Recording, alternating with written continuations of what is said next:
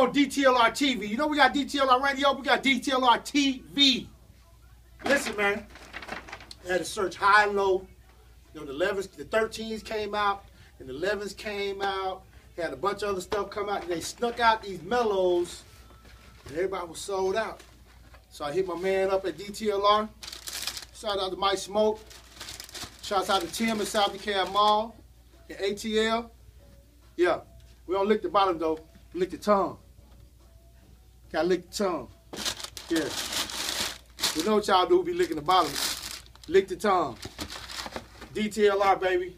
Greg Street. We at the People Station V103. A lot of releases coming out for 2015. Sneaker Friends coming to a DTLR city near you. Birmingham.